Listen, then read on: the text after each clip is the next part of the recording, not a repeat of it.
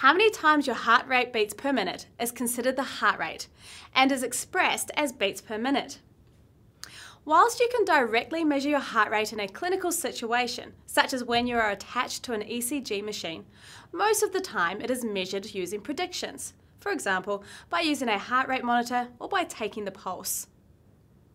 Resting heart rates can vary from person to person and can be affected by things such as caffeine, cigarettes, and nerves. But generally speaking, between 60 and 90 beats per minute is considered normal. As an exercise professional, we will be checking and monitoring people's heart rates, so it is important to get proficient at taking their pulse. There are two main sites that we are concerned with the carotid pulse and the radial pulse. When exercising, there is an increased demand for oxygen in the working muscles, so the heart rate increases in response to that demand. The heart will also respond to this demand by increasing the amount of blood that is pumped out in each beat. This is known as the stroke volume and is normally expressed in mils. At rest is approximately 70 mils. The cardiac output is a result of both the heart rate and the stroke volume and is the total amount of blood pumped from the heart per minute, and this is normally expressed as litres per minute. As a result of training, certain adaptations occur, or to put it simply, improvements occur. An improvement in stroke volume can be seen, and an improvement in recovery can be seen. As one gets fitter, the heart becomes stronger.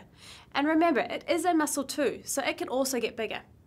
And it becomes more efficient, meaning that it can pump more blood out with each contraction. If more blood is being pumped out during each beat, the heart rate doesn't need to be as fast.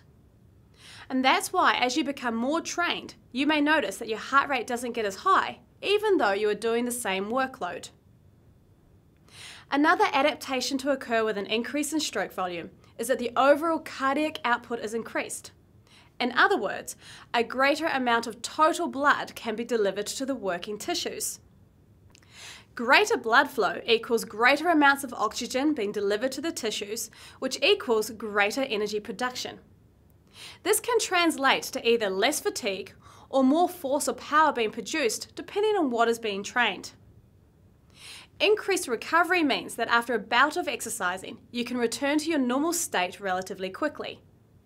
You can either train more in a given time because it's not taking as long to feel ready to go again, so the overall volume of your session increases.